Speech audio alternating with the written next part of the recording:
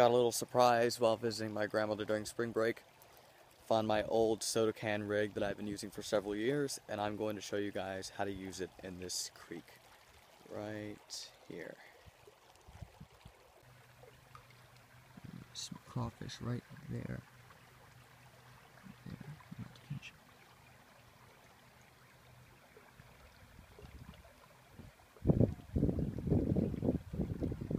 there.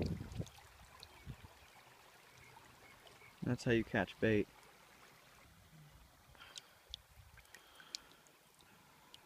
Have some 40 pound test and braid is all I had. A rock as a sinker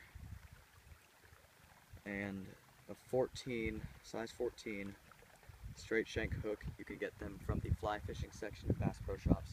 And I'm using a small chunk of crawfish tail meat catch the minnows and sunfish here in this creek.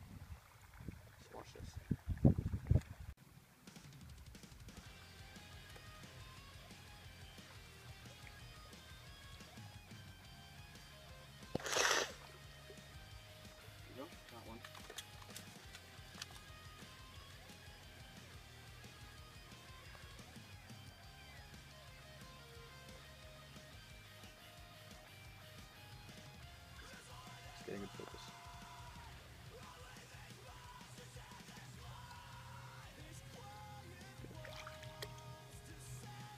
Is probably about the average of what you're going to find in this creek.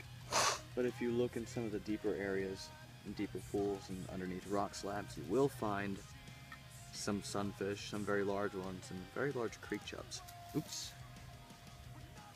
I'm going to let this guy go and continue fishing.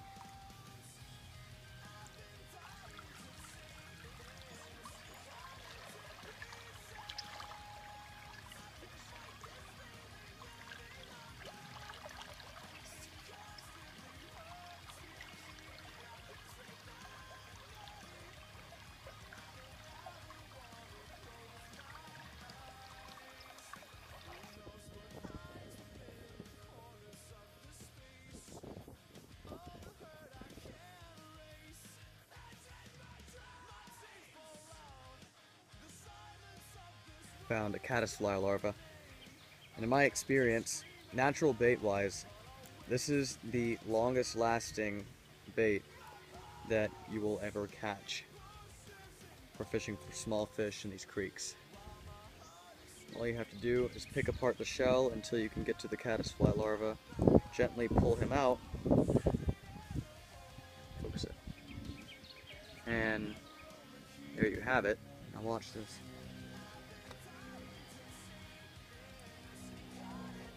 Take your hook. Just insert it into the thorax. Probably the underside is better, it's not as tough. And then you thread it onto your hook like this. Take the hook point out of the back end of the insect. There you have it. Perfect bait for small creek fish.